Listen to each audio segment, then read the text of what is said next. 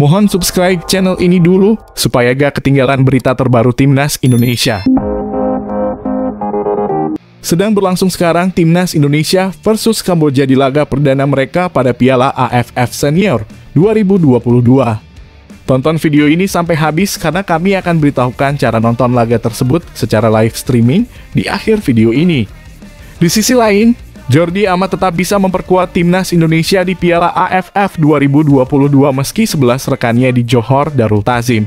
JDT menolak membela Malaysia. Jordi amat bergabung dengan JDT pada pertengahan musim 2022.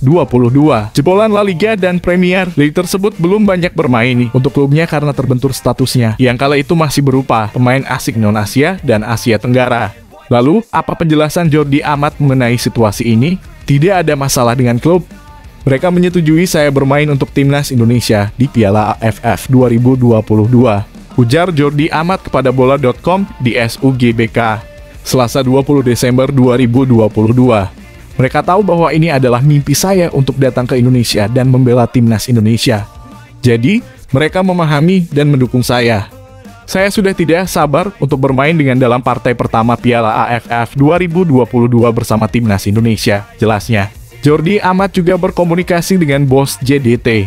Tunku Ismail Idris terkait keputusannya bergabung dengan timnas Indonesia untuk Piala AFF 2022.